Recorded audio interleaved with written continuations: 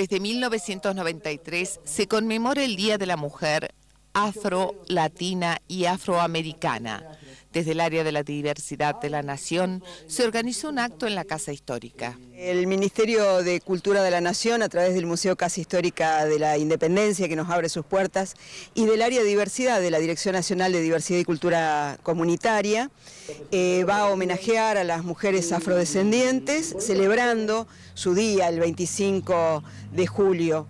Em, hoy tenemos entonces la presencia de algunos de los representantes de los colectivos afro, tanto de Santiago del Estero como de Tucumán. Eva Suárez llegó desde Santiago en este día y sostuvo que la mujer descendiente de africanos aún hoy es discriminada. Parece mentira, pero los perjuicios raciales se han ido encarnando en la sociedad a través de los siglos, como si se hubiera ido naturalizando.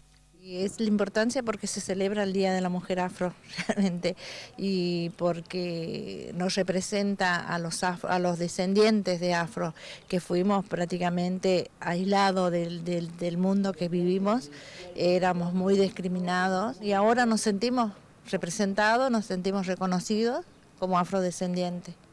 Los hombres de raza negra y los mulatos encabezaban la primera carga de los ejércitos durante la Guerra de la Independencia. De 8.000 habitantes de Tucumán, el 30% eran de esa raza.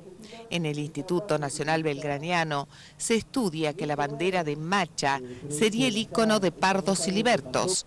El ADN afro no desapareció de la población, sobrevive debido a que se fueron mezclando entre sí. La idea es digamos, eh, resignificar el aporte de los afrodescendientes a lo que somos como nación, como Estado, ¿no? Y qué mejor lugar en este día y en este día tan importante como es el Día de la Mujer Afro y en este lugar tan importante que es la, Casa Histórica, eh, donde se hicieron, digamos, se debatieron temas importantísimos para nuestro país y eh, donde nuestros afrodescendientes también han aportado y luchado mucho para esa, para esa construcción.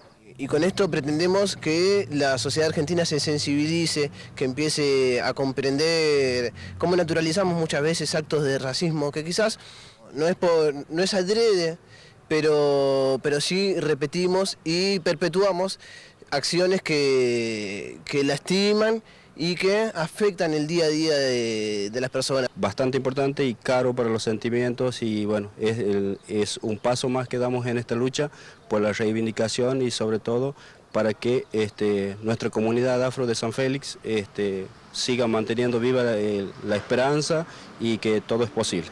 El mayor pecado del hombre blanco no fue el haber comercializado a los hombres de raza negra, sino el de vender a sus hijos mulatos.